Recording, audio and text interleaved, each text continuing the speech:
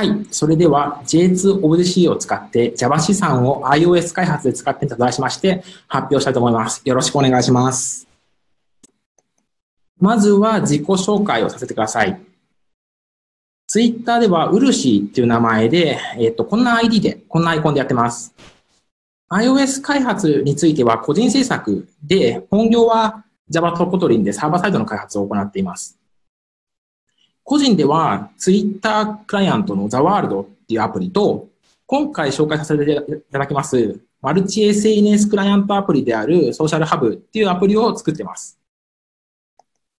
さて、タイトルにある J2OJC なんですけれども、これご存知の方いらっしゃいますか？はい、これ収録なんでちょっと反応わかんないんですけど、多分全然いないと思うので、簡単に説明していこうと思います。はい、J2OJC は Java から Objective-C にコード変換を行うトランスレータになります。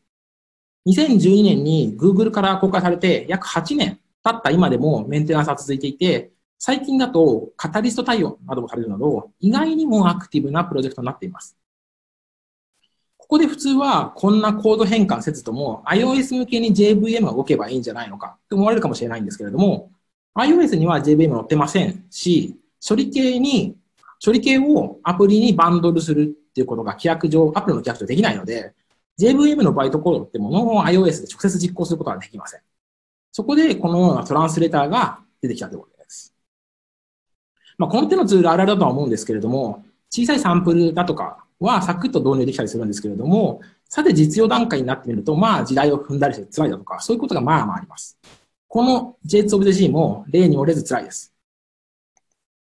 じゃあ、この辛い J2 Obj の採用理由について、はじめに説明していこうと思います。先に結論だけ述べてしまうと、要件的に満たすものはこれだけだったっていうことにつきます。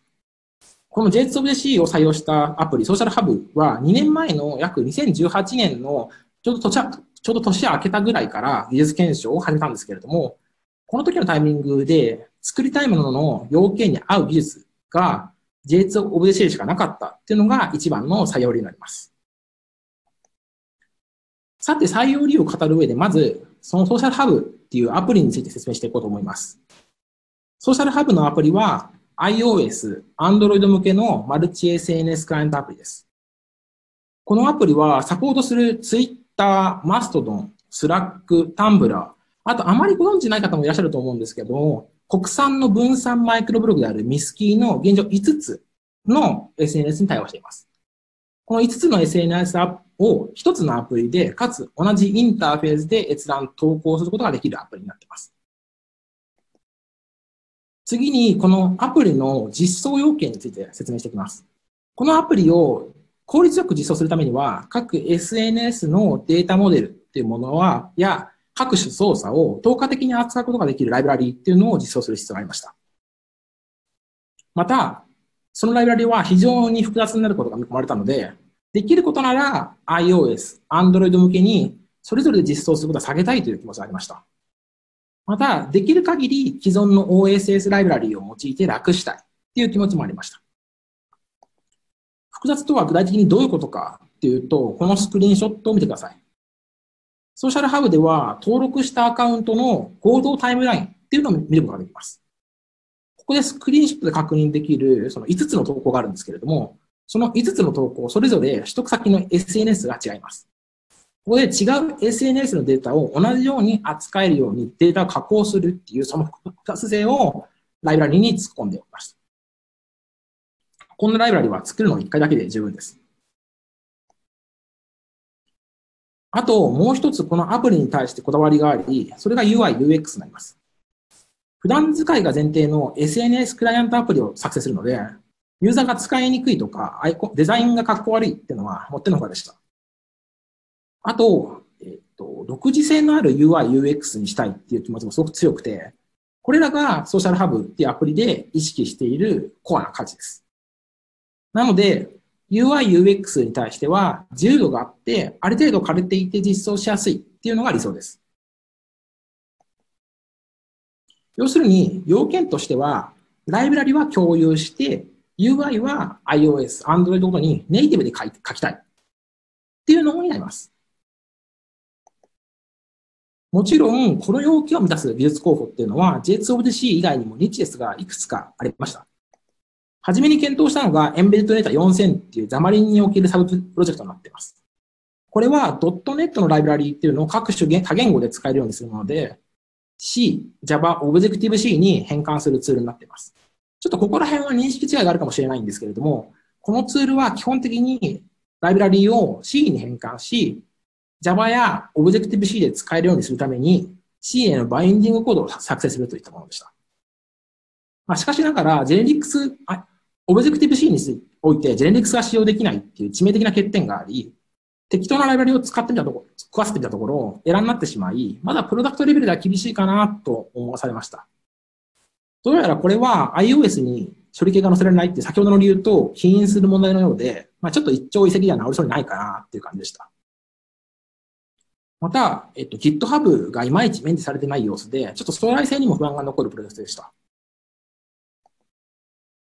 次に検討したのは Kotlin Native です。今回の iOSDC のプロポーザルに Kotlin Native があったみたいなんですけれども、なぜかこちらが採択されてしまったので、ちょっと軽く説明すると、Kotlin をいろんな環境下で使用可能にするっていったプロジェクトがあります。アプローチはすごく単純で、 Kotlin を LLVM の中間言語まで落として他言語とくっつけるっていう正統派なアプローチをとっています。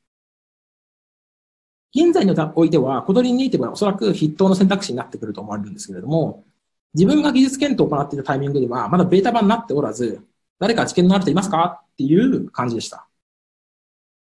また、 Kotlin Native を使う場合は、既存の Kotlin ライブラリーも場合によっては Kotlin Native 向けに実装変更する必要があり、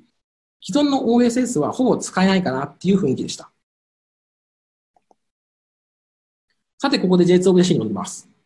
JS of the C はいろいろと制約はあるんですけれども、既存の Java の OSS ライブラリが使用可能です。各種 SNS クライアントライブラリを用いて、ソーシャルハブの共通ライブラリを書くことができるということです。また Java なので、 Kotlin へのコード変換もある程度可能です。将来、 Kotlin Native がデファクトになってきたときに、そちらへのくら替えも、まあ、労力がかかるんですけど、ギリギリ可能かなっていう感じです。しかしながら、JS of the C についてググってみたところ、ほとんど知見がなく、まあ、試して、試してみる段階で本当にできるのっていう疑問が拭えませんでした。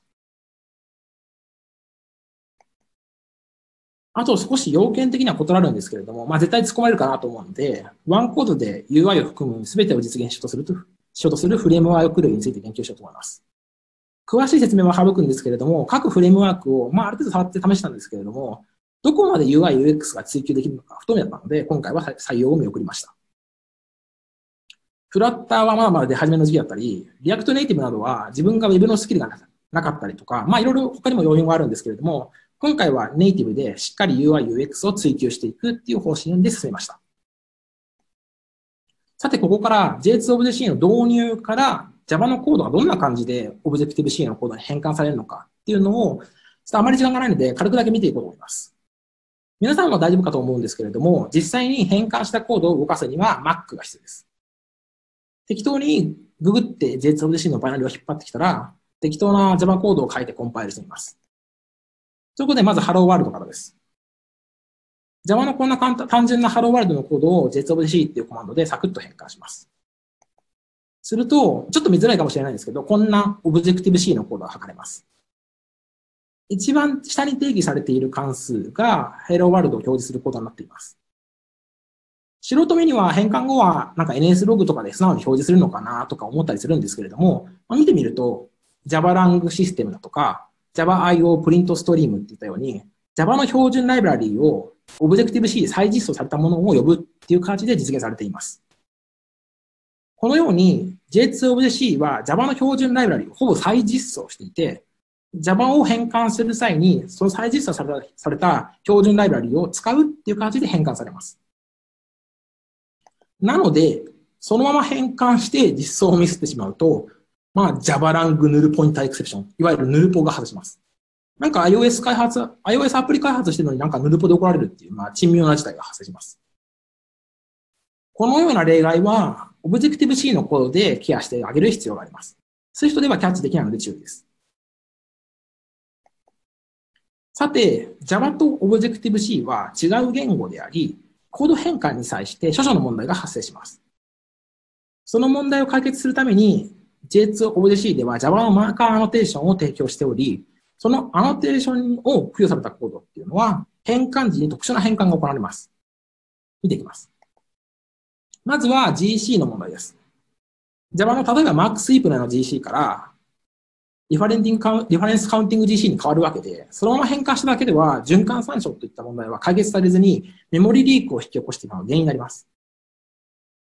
J2ObjC では、アットマーク weak、アットマークプロパティといったマーカーアノテーションを提供しており、それを付与することによって変換の、変換後の結果が変わってきます。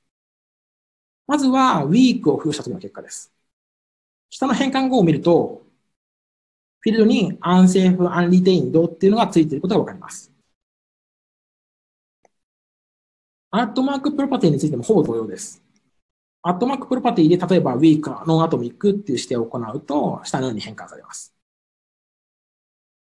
また J2ObjC では Java の循環参照を発見するためのツールも存在していて、それを合わせてアノテーションを付与していくっていうのは基本的な対策になります。次に関数名についてです。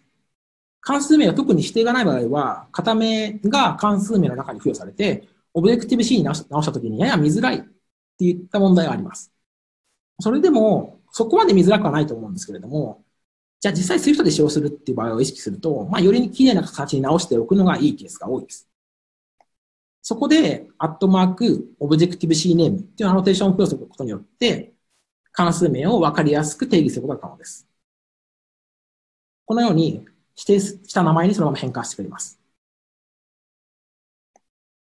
最後に nullability について説明します。今は多分、 Objective-C のコード、そのままオブジェクティブ C の世界で iOS、MacOS を頑張って、Mac 向けのアプリを頑張って書く人は少なくて、多分実際は bridging header とかを使用して、Swift の世界に持ってって書くって人が一般的だと思います。その際に実に面倒になるのが、ヌルの扱いについてです。オブジェクティブ C の一般的なライブラリーには、 nullability について明示されているので、基本的にそこまで露骨に困ることってのはないと思うんですけれども、J2ObjC で変換したものについては、特にケアしない場合は、そういう人でのヌルのケアっていうのがいちいち必要になってきて非常に面倒です。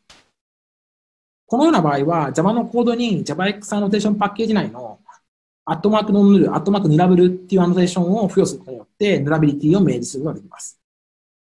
変換後に nonnull がついていることを確認してください。さて、ここからは、えっと、実際に開発していく上での工夫点とかを行って、説明を行っていきます。まずはビルドツールについてです。えっと、今まで挙げてきたような簡単な例であれば、特に苦労はしないんですけれども、現実的には他の OSS コードと一緒に数多くのコードをまるっと変換する必要があり、JSON-C はまあそれなりに変換に時間がかかるので、ライブラリ等に含まれる未使用のクラス等はあまり変換対象に含めたくありません。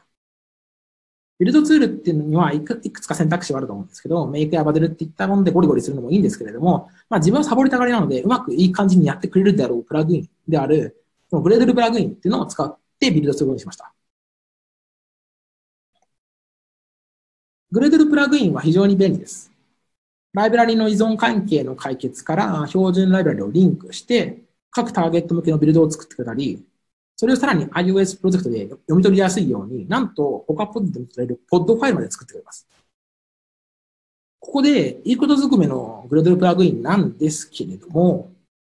問題は JSON-C のプロジェクトが古いためか、現在メンテされてません。まあ見ての通り、見てる通り、メンテナー探してますっていう感じらしいです。とりあえず、メンテナー探さ探されてないっぽいけれども、試してみるかってことで、試してみたところ、それなりには動いてくれるんですけれども、逆に言うとそれなりに問題が発生したので、それを自前でフォークして修正しました。